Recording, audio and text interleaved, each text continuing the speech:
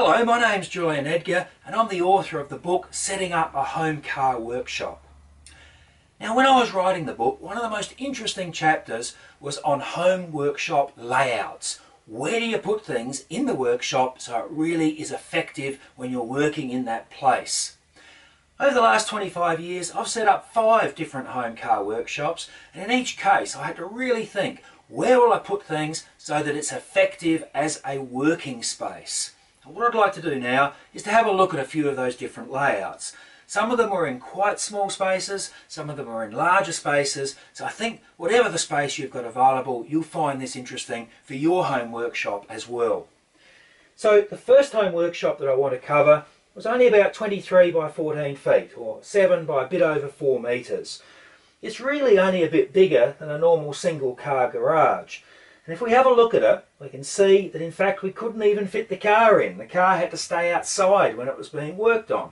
Now you can tell it must have been in a mild climate, and it was, because if it snows for six months of the year, that would make it really, really difficult. If you have a look at that workshop plan in more detail, you can see that two workbenches are used, and both of them are island designs.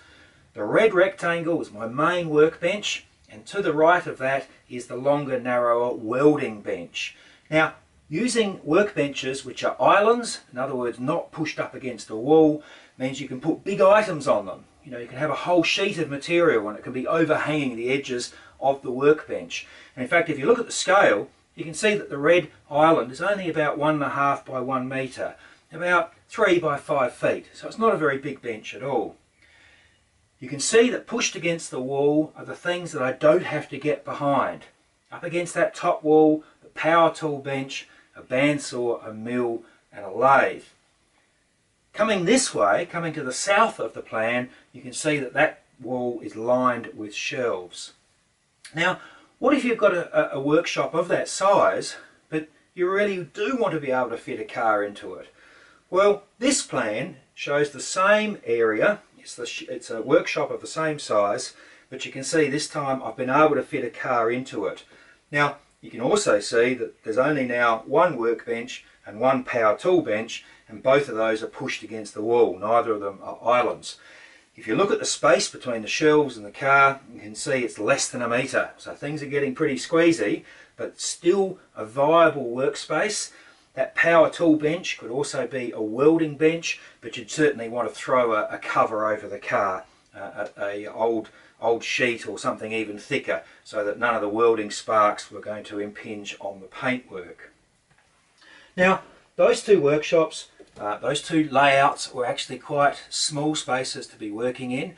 What if you've got a bigger space? I mean we all want to have a bigger space but sometimes cost and sometimes uh, other constraints prevent that from occurring. So what if you do have a bigger space? Let's have a look at another one now which is actually in a bigger area and it's my next work uh, workshop, one that I built. I actually built this workshop from scratch. I built the building.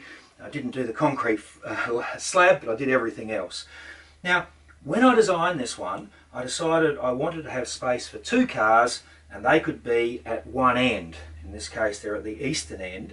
And the other half of the workspace was all going to be a workshop. Workshop um, shelves, workshop benches and power tools. And you can see I've got the same workbench and the same welding bench because I just transferred them from one workshop to the next.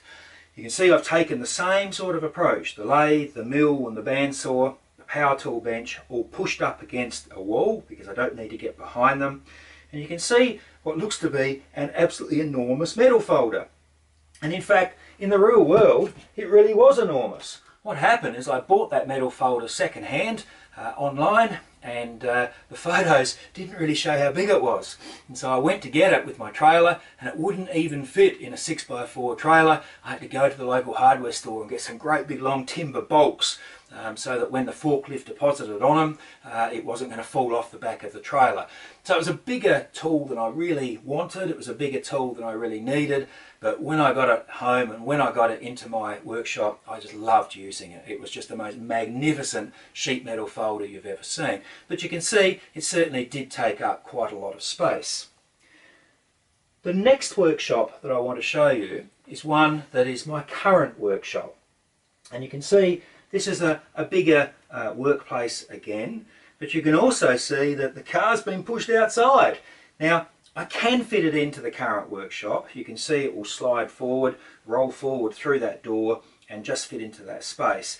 But you can also see that really the, the tools that I've bought, um, the, the machinery that I've bought is really starting to intrude on the space for a car, even though it still will fit in. So there's that workbench again, the same red rectangle. There's the welding bench again, slightly shortened because I thought it didn't have to be as long. The mill and the lathe again pushed against the walls and you can see this, this workshop runs a lot of shelving. Shelving around the north, shelving around the northwest corners.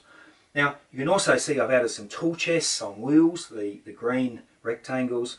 You can see I've added a second power tool bench, a wood lathe, a metal folder, it's not the same metal folder as we saw earlier, it's, it's a much smaller one. Um, when I moved from one state to another, the enormous one had to get sold. I must admit to having tears in my eyes when I saw that one disappearing. And you can see I've also added a bead blaster and a metal guillotine. So you can see all these different workshops have got different layouts. So what are some of the common things that they have? I've talked about island workbenches, where your material can overlap the edges, so you can work on bigger items than the actual workbench. But what I haven't talked about is something else that you should think of doing. When you're organising your workshop, working out where things are going to go, practice in your head doing a particular job. Now, in my workshops, I often seem to be making brackets or doing small metal work. And I'll, I'll lay that out on my island workbench I'll take it to the guillotine to cut. I might also take it to a, a vertical bandsaw to cut. I might go over to the drill press and drill some holes in it. And then I might go over to the linisher, the belt sander, and smooth the edges, take, take the rough uh, edge off the bracket. Now, how far do I have to walk to do those things? If I'm walking all over the workshop, it's just crazy. It, it takes a lot longer, it wears you out. If I'm just moving from one bench to another or just turning around and working on the machine tool that's behind me, taking one step to another machine tool, it's a lot easier workspace to operate in. It's also easier because you can lay rubber mats out in the area where you're standing the most, which reduces your fatigue.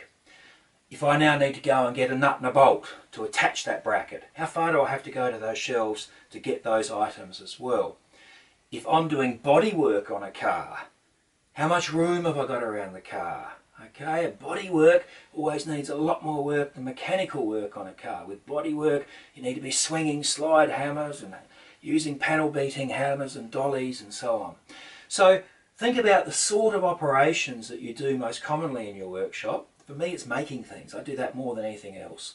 Think about the sort of work you're doing on your car in your car home workshop and therefore how much room you need around it. These things help you design and lay out your workshop. And if you put that forethought in, it, will just become a delightful place to work. It just works so much more seamlessly when you've considered those particular ideas. Have a look at some of the other plans that I have in the home workshop book. I've got plans from uh, other Australian uh, home workshops. I've got a plan from a, an American home workshop. I've got some great examples in there. People were really helpful in sending me photos and diagrams and plans of what they thought worked well for them. And I was really delighted to be able to, to feature them in the book. Thank you.